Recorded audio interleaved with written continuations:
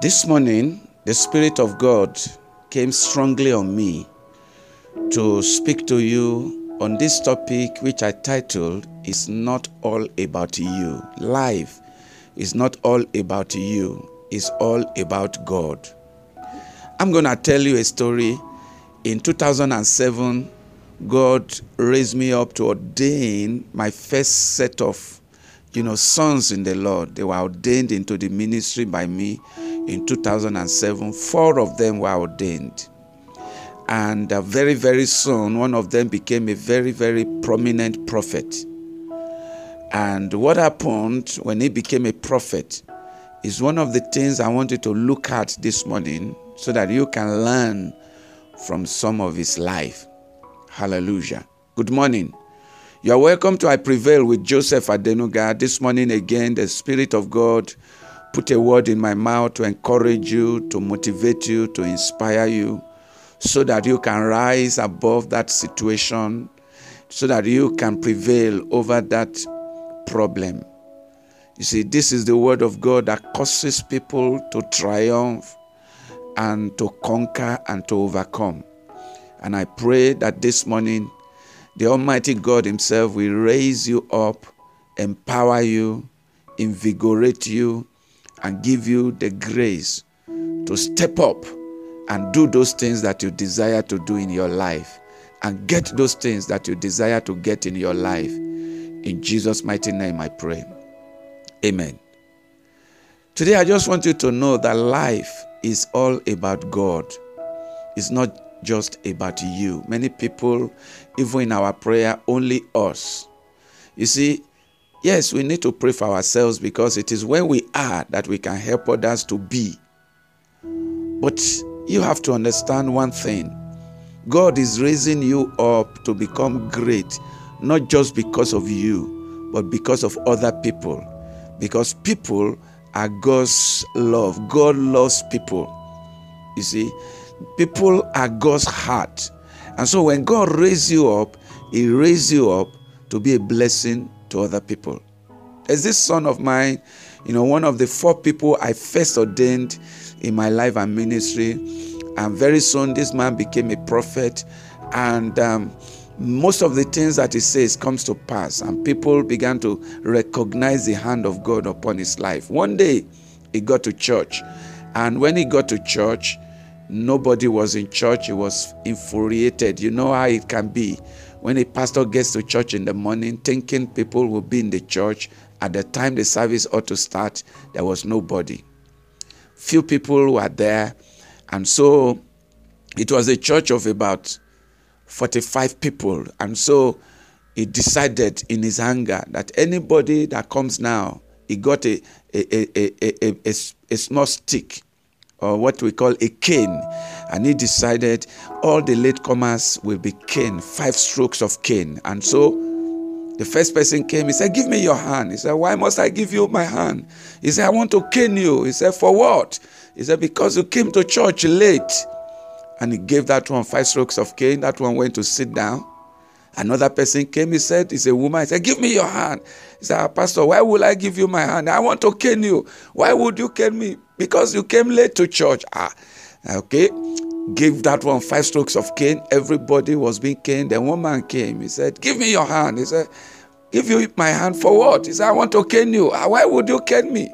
Because you came to church late. He said, No, I can't take that. You are not my God. You don't know why I'm late. There was a reason why I'm late. So I can't take this cane. He said, No, if you cannot take this cane, then go back home. There is no service for you today. He said, Well, I rather prefer to go back home. And so some people took the cane, they sat down, other people did not take the cane. This man told me this story himself. Hallelujah. And so I asked one of the people that took the cane, I said, Why did you take the cane? He said, This man is a terrible man. If you offend him, if he can call fire to come and burn you. He said there was a time somebody offended him and he woke up in the night. He said, Lord, this person has offended me. I want you to discipline this person for me. He said, In the night, fire came, attacked this man, burned this man, and that fire mysteriously did not touch the wife of this man. And so everybody began to fear this prophet that if he can say one word against you, you are gone. And I called him, I said to him, The grace of God upon your life is not to destroy, is to build up. God did not call you to do these things that you are doing because this thing you are doing is this power that is helping you to destroy people or discipline people or make people to pain and weep. I don't believe this is from God. He said, Ah, you ordained me, you are jealous, you are jealous. I said, Okay, it is well, it is well. Take care of yourself. Bye. I left him. But years later, something terrible happened. Let me tell you, no matter the gift you have, no matter the level you operate, God's people in your care or around you are to be helped, respected, and you see, you must contribute to their success, to their joy, not to their pain.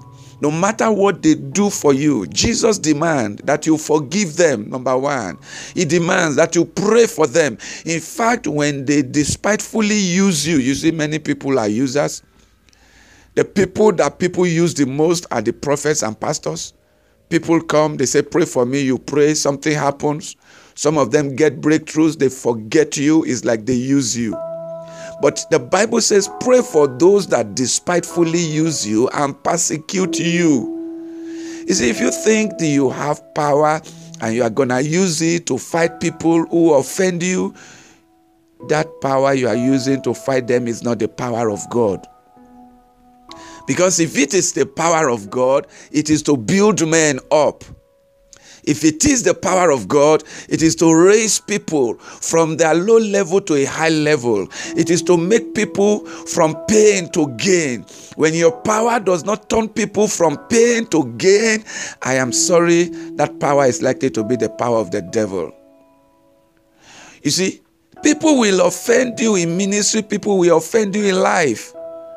You see, Jesus Christ, our Lord, says, resist the devil that's what the word says. I said, He will flee from you. This was spoken through Peter. He said, Resist the devil, he will flee from you. But Jesus said, Resist not evil. What does that mean? Don't resist people when they do evil to you. Pray for them. They slap you, pray for them. This is the words of our Lord Jesus Christ. But you see, he said, fight the devil, resist the devil, because we are fighting not against flesh and blood, but against principalities, against power.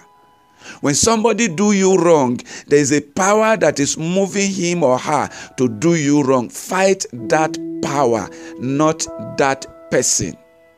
You have to recognize that behind every person's action, there is a spirit. Rebuke that spirit, not the person.